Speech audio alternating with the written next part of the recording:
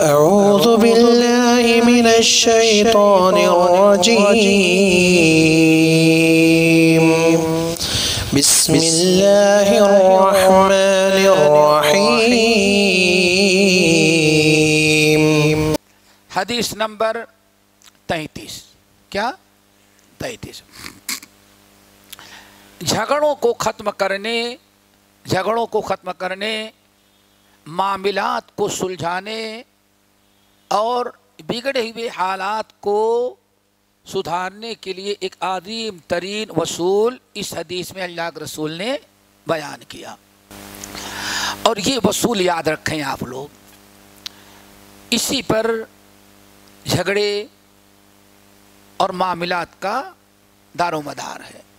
अल्लाह रसूल ने फरमाया, हदीस के रावी हैं अब्दुल्ला इबन अब्दुल्ला इबन अब्बास रदी अल्लाह तमा कहते हैं कि अन्ना रसूल अल्लाह अलैहि वसल्लम क़ाल लौ युअतन्नासु बिदअवाहुम लद्दा रिजालुन अमवाल कौमिन व दिमाअहुम लकिन अलबैनत वल मुद्दई वल यमीन अला मन अनकर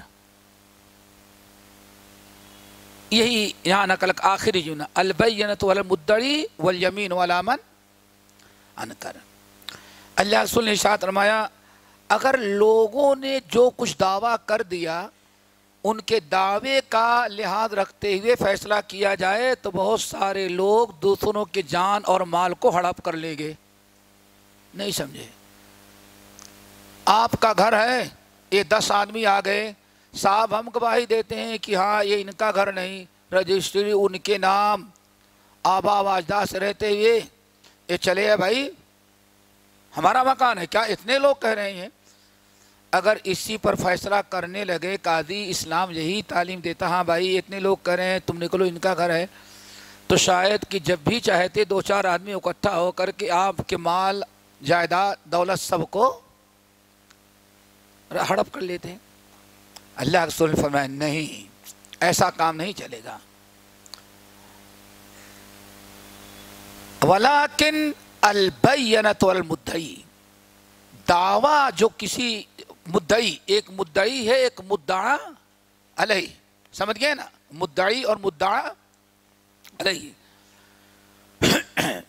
मुद्दई और मुद्दा अलही। मुद्दई दावा कर रहा है तो वो दलील पेश करेगा। क्या पेश करेगा? दलील। दलाइल से साबित करे। आज बहुत सारे दलाइल दस्तावेज़ से नहीं, कम से कम दो गवाह, समझ गए ना? दो गवाह से पेश अलबैनत और अलमुद्दड़ी, गवाह और दलाइल। मुद्दई अपने दावे को दलाइल से पेश करे, गवाहों के ज़रिए पेश करे, दस्तावेजात जो है उनके ज़रिए पेश करे। कम से कम दो गवाह हों। अगर वो गवाह पेश नहीं कर सकता तो क्या भाई तुम लोग लड़ते रहो, कोई फैसला नहीं है? फिर अगर वो दलाइल और गवाह पेश नहीं कर सकता तो अल्लाह सुन वलयमीन वाला मन अनकर। जो मुद्दा अलई है, अगर मुद्दई दलील नहीं पेश कर सकता तो मुद्दा अलई कसम खा लेगा, हलफ उठा लेगा और फैसला उसके हक में दे देगा। लेकिन ऐसा भी नहीं क्या दिन भर झूठी कसम खाने वाला। कसम खा रहा है और कसम खाने से पहले काजी कह के देख लो, जिसे अल्लाह सुल फरमाते, देखो तुमने कसम खाया ना, मैं तुमको ये दे रहा हूँ मुमकिन है कि मुद्दई मुद्दा अलह में कोई हक पर होते हुए बात करने में इतना कमज़ोर भोला भाला है कि अपना हक साबित नहीं कर सकता। लेकिन नंबरी जो दगाबाज है, बातिल को भी दलाइल से बड़े जोरदार अंदाज से साबित कर दिया। तो हम तो मुकल्लफ है ज़ाहिर के अगर मैंने किसी को दे दिया ऐसे फैसला हमारा हक के खिलाफ है। तो मेरे फैसले से वो चीज़ उसके लिए हलाल नहीं होगी, जहन्नम के आग का अंगारा उसको दे रहे हैं। समझाया जाएगा, सोच लो, अंजाम क्या होगा? फिर उसके बाद फैसला किया जाएगा। मुद्दई, दलाइल, पेश करे, अपना हक साबित करे। अगर साबित नहीं कर सकता तो मुद्दा अली क्या करेगा वो? कसम खाएगा और बात को खत्म कर दी जाएगी। कादी शुरह का नाम सुना है? अल्लाह अकबर। उमर फारूक रदी अल्लाह ताला ने एक ऊँट खरीदा। ऊँट खरीदा। झगड़ा कैसे खत्म होता है? ऊँट खरीदा और ऊँट वाले से कहा मैं, बातचीत मैं तेरा देखूँगा ऊँट को। उमर फारूक ने खूब दबा के दौड़ाया। तराई हो रही थी। आगे जा करके ऊँट का पैर फंसा, गिरा, उसकी टांग टूट गई लंगड़ा हो गया। उमर फारूक लौटा के आए, कहा, ले जा अपना ऊँट। ये मेरे काम का नहीं है। कहा, अमीरुल मोमिनीन, कैसे मैं ले लूँ? मैंने आपको सही सालिम दिया, आपने टांग तोड़ के दिया, मैं कैसे लूँगा? अल्लाह अकबर। बद्दू उमर फारूक से लड़ता है। क्योंकि मालूम है कि ये इस्लामी ममलकत है, हमें हमारा पूरा हक मिलेगा। चाहे अमीरुल मोमिन का मैं किसी और का। हमारा हक। उमर फारूक ने कहा, मैंने जान के थोड़ी तोड़ा है। ऊँट को मैंने घोड़े को दौड़ाया और गिर गया, उसकी टांग टूट गई, मैं क्या जानू उसको?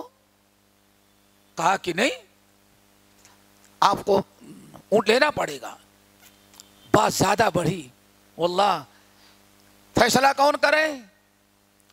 तो बेचारा, शुरह रहमतुल्लाह मिले, कहा, भाई, हमारा फैसला कर दो। शुरह आए मुद्दई की भी बात सुनी और मुद्दा की। अभी तक शुरह बिल्कुल एक आम आदमी थे, लेकिन दुनिया में अपने अदालत में जो अदल इंसाफ का सिक्का जमाया, उनमें सरे फहरिस्त किसका नाम आता है? कादी शुरह का।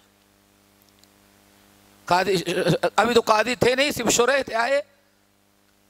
दोनों का बयान सुना। अल्लाह कहा कि, अमीरुल मोमिनीन, इंसाफ का तकादा ये है कि आपने जो कीमत तय की थी, इसको कीमत दें और लंगड़ा घोड़ा आप लेकर के जाएँ। समझ गए ना? और अगर आप वापस करना चाहते हैं तो आपने सही सालिम जैसे घोड़ा लिया था, वैसे लौटा के दे। उमर फारूक अमीरुल मोमिनीन हैं। फैसला उनके खिलाफ पड़ा।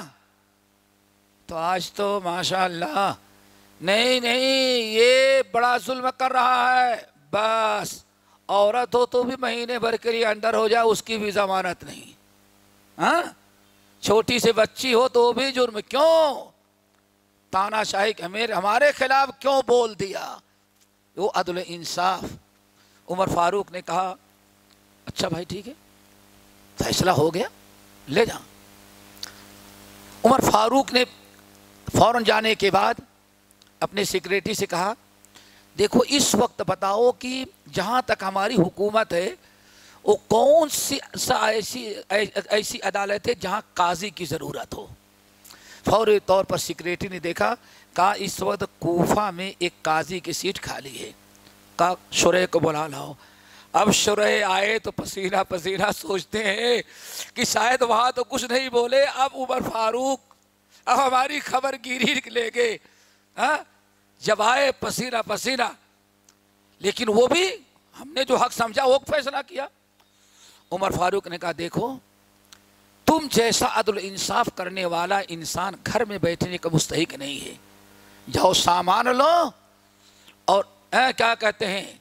एक रिसाला तैयार किया कहा इस वक्त कोफा के अंदर फला जगह अदालत में काजी की ज़रूरत है और तुम यहाँ से जाओ वहाँ से आज के वहाँ के आज से तुम काजी बना दे गए ये इस्लाम में अदल इंसाफ है मेरे भाइयों। अल्लाह ताला ऐसे ही तमाम लोगों को अदल इंसाफ करने वाला बनाए।